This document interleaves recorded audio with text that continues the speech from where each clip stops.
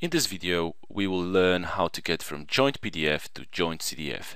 PDF stands for probability density function, CDF stands for cumulative distribution function.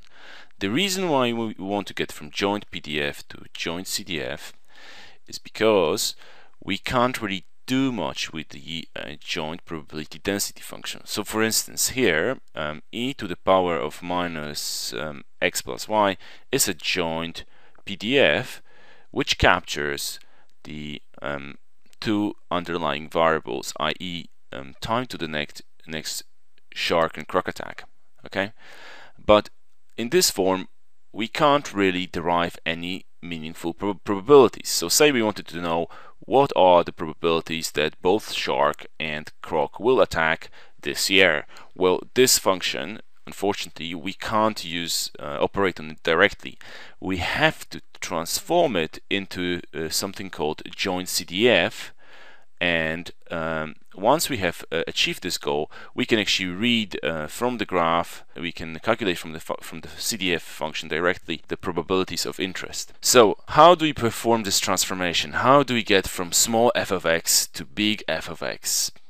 Okay we get there using uh, this uh, transformation here in the red box and you will notice um, that to do this transformation we first have to change the variables of integration.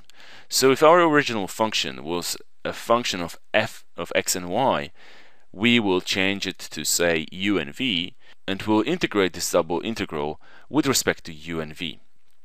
Also, please note that the upper range of integration here uh, needs to be x and y. The lower limit of integration will be, here in this case, negative infinity, but we will adjust it accordingly depending on the definition of the random variables. For instance, in our example here, our variables were defined for x and y greater than 0. So we will be effectively replacing these two with 0 and 0 because time can time to the next shark or croc attack can't be negative so we have to adjust it accordingly. Okay so there are just two things three things to remember. Keep the upper limit of integration as x and y and change the variables in the function uh, that you are given to u and v and integrate it with respect to u and v. The lower limit of integration will change also depending on the formulation of the variables. Okay, so let's see how this is done. Yet again, we come back to the same old uh, exponential function uh, e to the power of e to the power of minus x plus y. So the first step to get from joint PDF to joint CDF, we, the first step we have to do is obviously change these variables and we replace this one with u and we replace, replace y with v. And the same here, we have to obviously change the um, variables of integration. Yeah. Now you will notice that I plugged in x and y as our as my upper limit of integration. The reason why I've done this is because the function that we will recover from this uh, double integral will be a function of x and y alone okay? So we will drop these variables u and v uh, to uh, x and y. And obviously my lower limit of integration is zero because that's how uh, here my variables are defined. Now e to the power of minus u and v can be written as a product of two functions. Because we first tackle the first integral which is with respect uh, to u we can move u to the power of v uh, in the middle uh, i.e. outside the second integral because this is just like a constant yeah we are integrating with respect to u and therefore uh, v will behave like a constant so we can move it in front of the integral and now here we solve this uh, first integral uh, we replace so we, we, when we evaluate this antiderivative obviously we um, deal with the upper limit of integration first which was defined as y the lower limit of integration is 0 and it it turns out that uh, we get something like this okay from the first integral. Because when uh, we have e to the power of uh, 0 this is just going to be 1 okay? So this is uh, this whole expression becomes just 1 minus e to the power of minus y. And we do the same thing. This is exactly the same transform um, antiderivative that we'll get out of here. Just the, with the only difference that v will be replaced by x. Okay, so we get uh, this as our joint cumulative distribution function. Um, victory at last. We can use this function directly to find probabilities. We could not have used this joint PDF to find prob probabilities. We have to perform this transformation from joint PDF to joint CDF in order to do something meaningful with this function. And for completeness sake, I finally show how to get from joint PDF to joint CDF. All you have to do here is to differentiate first with respect to x and then with respect to y. What do we differentiate? Well, we differentiate the uh, big F, which is our joint CDF. Okay, so for instance, I uh, this is our joint CDF. I have uh, multiplied these terms by themselves here. Okay, because it's just easier to deal with the differentiation. I first differentiate with respect to x, and I got this, and then with respect to y, and I got our joint PDF. Okay, so fantastic. We know how to switch from one to the other now. And differentiation is easy. Uh, so uh, what's the derivative of 1? Well, it's uh, 0. Derivative of e to minus x with respect to x, well, it's actually uh, positive e to the minus x.